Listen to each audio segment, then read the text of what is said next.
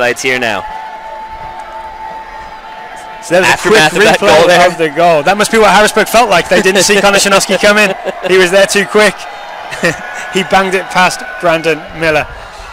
Quick replay of the save. This is really where the game turned. It could have started badly for the kickers if Aaron Wheeler had put this away.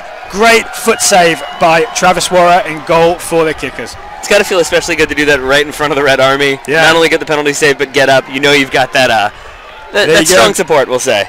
He gives him the old fist bump. We see the opening tifo here.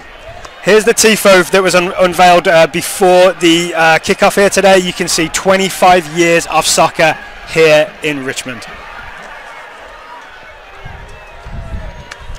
Still a long season to go for the Kickers. Only one game in, but a 1 0 win, not a bad way to start. Three points in the USL Eastern Conference. Absolutely not. I think if you're going to look at the way you want to start the season, obviously you want to get some goals. The kickers got one today, but you want to keep that well organized defensive line.